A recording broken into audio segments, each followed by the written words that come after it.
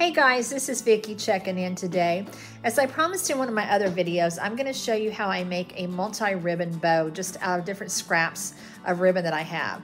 Um, you can use as much ribbon as you want or as little ribbon as you want. Uh, today I'm going to use one, two, three, four, five, six different kinds of ribbon, plus also a string or another piece of ribbon. This is actually a, a red and white twine that I'm gonna tie all the ribbon together.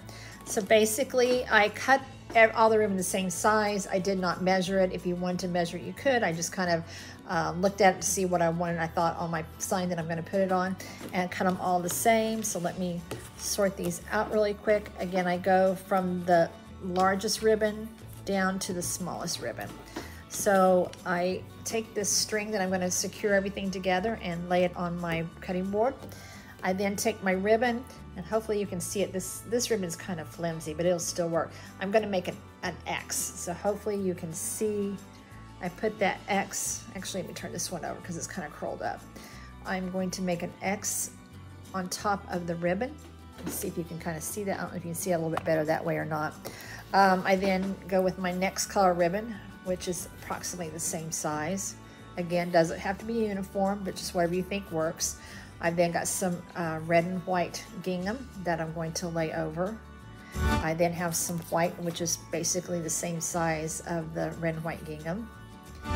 As you can tell, I like buffalo check and gingham, and I like red and black. That's what I'm using for Valentine's Day.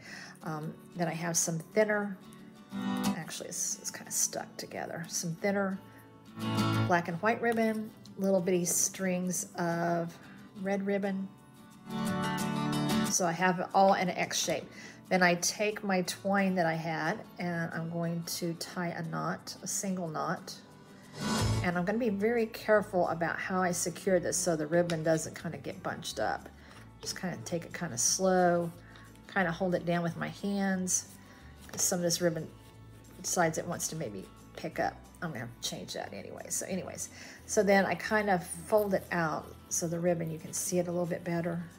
And I'm going to turn it over and do a double knot on the other side to secure it. There's one knot and there's two knots. And then, okay, my fingers do not want to make a knot today. All right.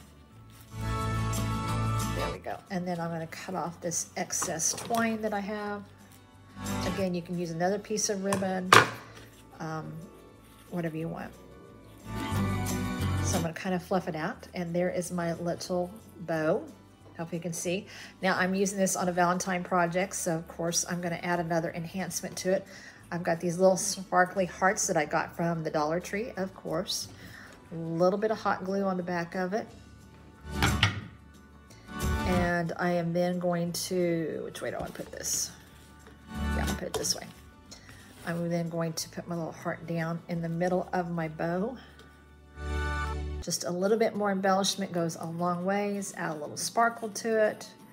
Add that buffalo check, that great buffalo check for farmhouse decor. And there I have my bow. So everybody stay safe, stay healthy,